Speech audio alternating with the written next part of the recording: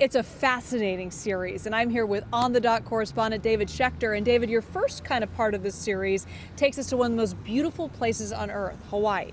So beautiful, what a great place to be, and it's where we start our journey to talk about the invisible problem. Earth. It is so vast and so beautiful. It can be hard to grasp that we could possibly ever alter it. Maybe that's because the largest force that's changing our climate is invisible. My name is David Schechter, and I'm your guide on a journey to explore how we're changing the Earth and how the Earth is changing us. This is On the Dot.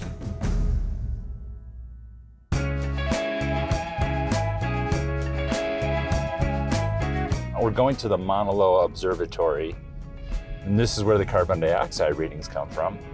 And I, I'm like, I gotta go see that place. When it comes to office views, Thanks for having us up, man. Yeah, of course. Aiden Colton is crushing it. We visited him before a recent volcanic eruption temporarily interrupted operations up here. It's not the easiest place to get to, as you can see. No, it wasn't that easy. It's not the easiest place to work. Um, it's 11,000 foot elevation. You know, every time you take a breath of air, you're breathing in a third less oxygen. Too much carbon dioxide in the atmosphere is what drives climate change.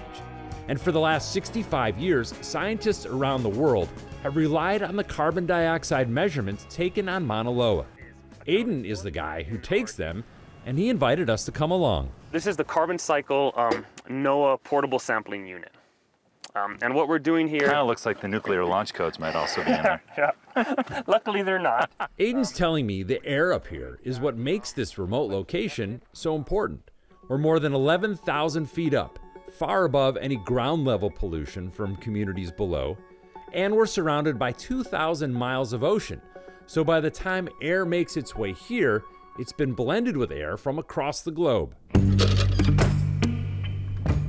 All right, so we'll just hold our breath, just because that's what I usually do when we get like 10 seconds. But once I close it off, we're We have to we, we have to hold our breath. it, it's very hard to affect it, but we don't want to contaminate. Tell me when I have to hold All my right, breath. so- I looked over at you and I'm like, I don't think you're gonna be able to do this. Chance. Hold your breath. I couldn't hold it. I had to breathe. These samples, gathered once a week, will be sent to a lab for analysis. There's also a tower, another 140 feet up, that pulls and analyzes samples 24 hours a day, determining how much carbon dioxide is in the air at such a high altitude. You have all this research from this location. What story does it tell? our job is to is to present the facts.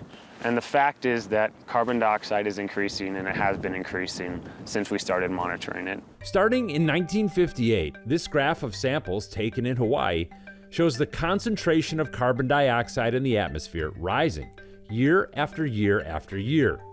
Now let's go back in time by 800,000 years. By studying things like ice core samples, ocean sediment, and tree rings, scientists have a good idea how much carbon has historically been in the Earth's atmosphere. It goes up and down over time, but it's never crossed this line. And now, let's bring things back to what's happened in the last 65 years. The CO2 in the atmosphere has never been seen this high in, in human history. It's harder and harder for me to speak to uh, people like yourself and be optimistic. I want to see some change and I want to see it start to plateau.